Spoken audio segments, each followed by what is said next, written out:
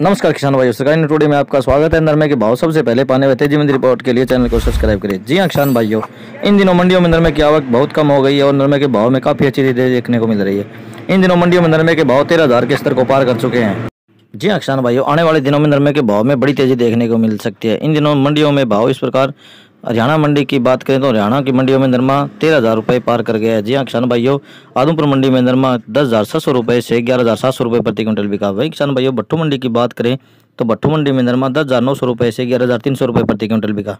वहीं फतेहाबाद मंडी की बात करें तो फतेहाबाद मंडी में नरमे के भाव अच्छे देखने को मिले। फतेहाबाद मंडी में नरमे के भाव बारह हज़ार सौ रुपये से बारह हज़ार आठ सौ रुपये प्रति क्विंटल बिका। वहीं किसान भाइयों, राजस्थान की मंडियों में नरमे के अच्छे भाव रहे। राजस्थान की गंगानगर मंडी में नरमा दस हज़ार सात सौ से ग्यारह हज़ार दो सौ रुपये प्रति क्विंटल बिका।